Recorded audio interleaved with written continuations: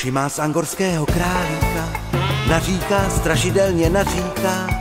Je to mé ochočené strašidlo, mám ho rád, chodí se mnou spát.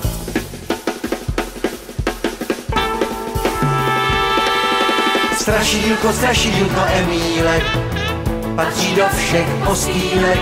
Strašidílko, strašidílko Emílek, chce si s vámi děti hrát. La la la la la la la la Strašidílko, strašidílko Emílek, chce si s vámi děti hrát. Vypadá trochu jako mumie, ve dne spí v